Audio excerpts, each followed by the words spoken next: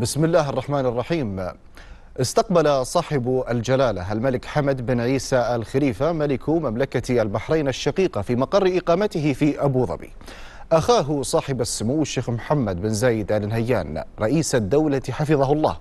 وتبادل صاحب السمو الشيخ محمد بن زايد آل نهيان مع أخيه الملك حمد بن عيسى الأحاديث الودية التي تعبر عن عمق الأواصر الأخوية الراسخة التي تجمع البلدين الشقيقين وقيادتيهما وشعبيهما وخصوصية هذه العلاقات والحرص المتبادل على استمرار تعزيزها بما يخدم التنمية والتقدم في البلدين. سائلين المولى عز وجل أن يديم عليهما الخير والازدهار. وعرب جلالة ملك البحرين خلال اللقاء عن صادق تعازيه ومواساته إلى أخيه صاحب السمو رئيس الدولة وعموم آل نهيان الكرام بوفاة الشيخ سعيد بن زايد آل نهيان رحمه الله.